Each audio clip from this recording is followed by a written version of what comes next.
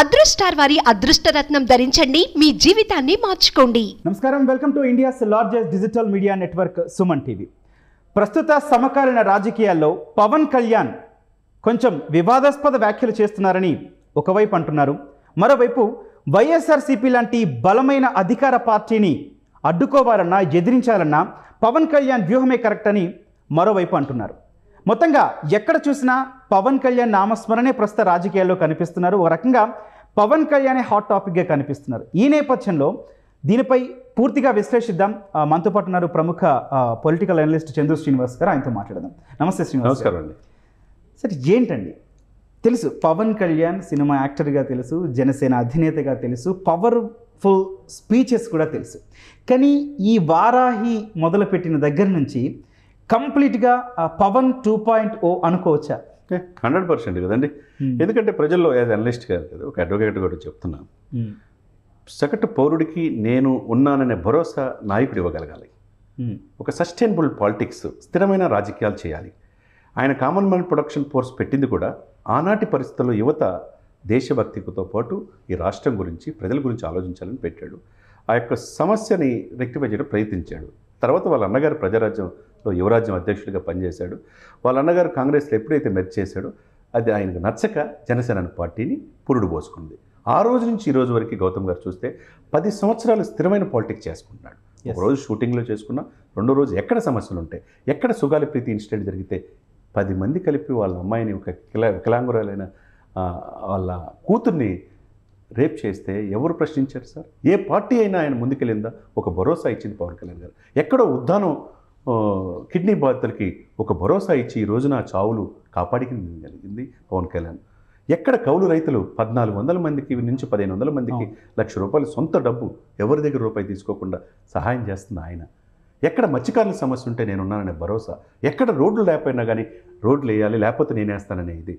ఎక్కడ విశాఖ స్టీలు ఆపగలిగారు ఎవరైనా? దానికోసం పోరాడింది అవసరమైతే సెంట్రల్కి వెళ్దామంటే సాక్షాత్ అధికార పక్షం కూడా ముందుకెళ్ళలేకపోయారు ఇరవై రెండు మంది ఎంపీలు ఇంకో ఐదు రాజ్యసభలు ముప్పై మంది ఎంపీలు ఉన్న అడగనిది స్పెషల్ స్టేటస్.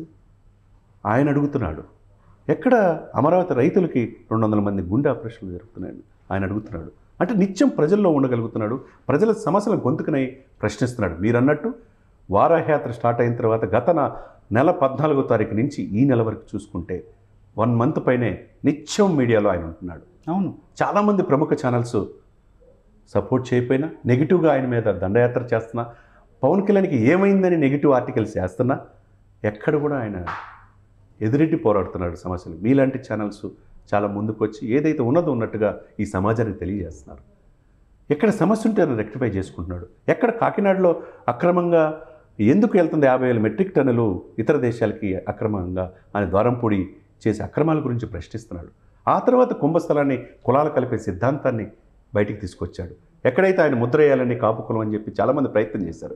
కానీ కాపులకి శెట్టి బలిచిరి కాపులకి వెలమలకి ఏం జరుగుతుంది? కులాలు కలిపే సిద్ధాంతాన్ని మీరు తీసుకురండి అని చెప్పేసి ఆ కులాలని కలిపే దాంట్లో మొదటి పెడితే సక్సెస్ ఈ పాయింట్ మాట్లాడే ముందు ఎస్పెషల్లీ కులాలకు సంబంధించి మాట్లాడే ముందు పవన్ కళ్యాణ్ ఒక పార్ట్ టైం పాలిటీషియన్ అని విమర్శ చేసిన పార్టీలు కానీ వ్యక్తులు కానీ ఇప్పుడు పవన్ కళ్యాణ్ యొక్క యాత్రలు కానీ ఆయన కామెంట్స్ కానీ జనాల్లో ఆయన స్పీచెస్ కానీ విని వెనక్కి తగ్గుతారనుకుంటున్నారా? లేదంటే ఆ కామెంట్స్ని వాళ్ళు వెనక్కి తీసుకునే పరిస్థితి ఉందంటారా? వెనక్కి తీసుకునే పరిస్థితి ఉండాలి.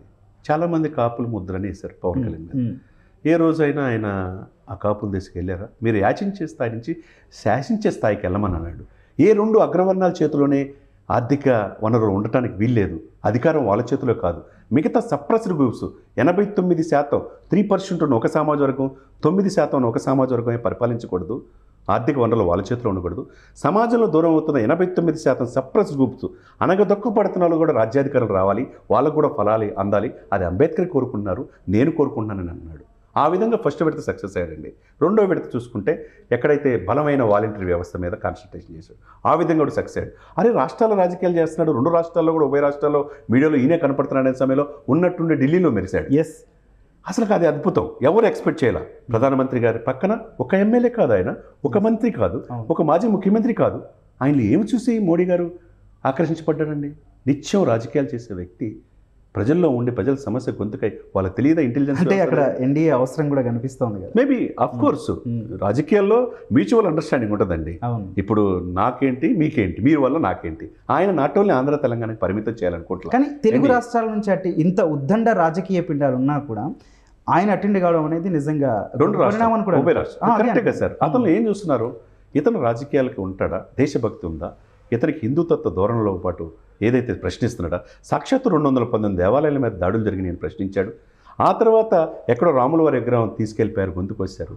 తర్వాత అంతర్వేద రథాన్ని ప్రశ్నించాడు. ఎవరైనా ప్రతిపక్షాలు ఎవరైనా ఈయనలాగా ప్రశ్నించినయా?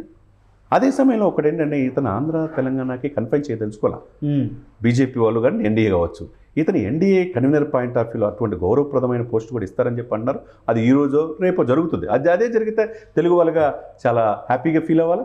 రెండు ఇతను నాట్ ఓన్లీ ఇక్కడే కాకుండా పక్కన ఉన్న కర్ణాటక కావచ్చు తమిళనాడు ప్రభావితం చేయగలరు. కేరళ గారు కావచ్చు ఎక్కడైతే తెలుగు ప్రజలు ఉన్నారో ఆ ప్రజల్లో ఈ బీజేపీని కన్వర్ట్ అంటే ఒకప్పుడు ఏంటంటే దక్షిణాది అంటే చిన్న చూపు ఉంటుంది. ఆయా ఢిల్లీ పెద్దలకు అని అనుకుంటారు. ఆ యొక్క అపప్రదన అనేది పవన్ కళ్యాణ్ రూపేణ అది చెరిపివేసి దక్షిణ భారతదేశాలు కూడా బీజేపీ విస్తరించడానికి పవన్ కళ్యాణ్ అనే ఒక అస్త్రాన్ని ఒక ఆయుధంగా ఉపయోగించుకోవడానికి దాంట్లో భాగంగా ఈ ప్రయత్నాలన్నీ జరుగుతుందని కానీ ఏపీలో అధికార సెంట్రల్లో అధికారంలో ఉన్నటువంటి బీజేపీ వైఎస్ఆర్సీపీతో చాలా దగ్గరి సంబంధాలు ఉన్నాయి స్నేహ సంబంధాలు ఉన్నాయి. ఉమ్. అడగగానే నిధులు విడుదల చేయడం కానీ ఇప్పుడు పవన్ కళ్యాణ్ వెళ్ళి ఎన్డీఏ సమావేశంలో పాల్గొనడం ఏదైతే ఉందో అది నెగిటివ్ అయ్యే ఛాన్స్ లేదంటారా? ఏ కోణంలో చూసుకున్నా? ఎక్కడండి? ఎక్కడ నెగిటివ్ ఉండదు. పాలిటిక్స్లో ఎప్పుడు ఎవరితో ఎలా ఉంటుందో తెలియదు sir. Politics is a poison politics తెలిసినోడు success అవుతాడు. రెండుసార్లు ప్రధానమంత్రి అయ్యాడు. ప్రధాన మూడోసారి ప్రధానమంత్రి అవడానికి అస్త్రశస్త్రాలు రెడీ చేసుకున్నాడు. ఒక్క కామెంట్ మీ దగ్గరికి తీసుకురాదలుచుకున్నాను ఈ సందర్భంలో. చెప్పండి. పవన్ కళ్యాణ్ ఇక్కడ జగన్ని విమర్శించి జగన్కి చాలా క్లోజెస్ట్ ఫ్రెండ్ అయిన బీజేపీ మీటింగ్లో కనపడడంతో ఏమైంది ఇక్కడ చేసిన ప్రసంగాలన్నీ స్పీచెస్ అని కొంత దగ్గర కొంతమంది దగ్గర నుంచి వచ్చిన మాట ఇప్పుడు క్లోజెస్ట్ ఫ్రెండ్ అంటున్నారు మరి. మీరు అదే అమిత్ షా గారు. విశాఖపట్నం వచ్చి ఇటువంటి ఫ్యాక్షన్ గవర్నమెంట్ ఇష్ట- ఇటువంటి భ్రష్టాచార గవర్నమెంట్ చూడండి ఇటువంటి ముఖ్య అవినీతి ముఖ్యమంత్రిని నేను చూడలేదని ప్రశ్నించాడు. ప్రశ్నించినప్పుడు వైసీపీ క్యాడర్ ఏం అనలా ఆయన్ని టూ డేస్ తర్వాత అపాయింట్మెంట్ తీసుకుని అదే అమిత్ షా గారిని ఇదే ఇదే వ్యక్తి కలిశాడు ఇదే ముఖ్యమంత్రి గారు. మరి ఆ ముఖ్యమంత్రి గారు ఎలక్షన్స్ ముందు. నాకు ఇరవై ఐదు మంది ఎంపీలు ఇవ్వండి. ఎవరైనా ప్రధానమంత్రి అయితే మెడలు వంచి. నేను స్పెషల్ స్టేటస్ తీసుకొస్తున్నాడు. ఎందుకు తేలేపారు? పోలవరం ఎందుకు పూర్తి చేయలేపారు? విశాఖ రైల్వే జోన్ ఎందుకు తీసుకురాలేపారు? విశాఖ స్టీలు ఆంధ్రుల హక్కు విశాఖ ఉక్కు పదుల సంఖ్యలో చనిపోయారు. దాన్ని ప్రైవేట్ పరం అవుతుంది ఎందుకు కాపాడలేపారు? సరైన రోడ్డు సదుపాయాలు ఎందుకు లేవు? జాబ్ క్యాలెండర్ రెండున్నర లక్షల ఉద్యోగాలు ఎందుకు లేవు? గుజరాత్ తర్వాత అంత అంత పెద్ద తీర ప్రాంతం ఆంధ్రప్రదేశ్. ఒక ఇండస్ట్రీ ఎందుకు రాలేకపోతుంది? పక్కనున్న కర్ణాటక రాష్ట్రంలో పదిహేను వందల ఐటీ పరిశ్రమలు ఉన్నాయి. హైదరాబాద్లో వెయ్యి పరిశ్రమలు ఉన్నాయి.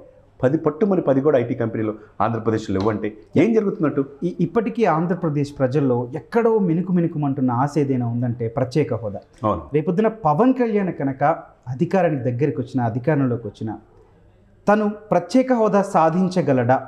ఒక అనలిస్ట్కి ఏం సమాధానం చెప్తారు? డెఫినెట్గా అండి. అది చాలామంది మనసులో ఉన్నది మీరు కూడా అడిగారు ఇప్పుడు.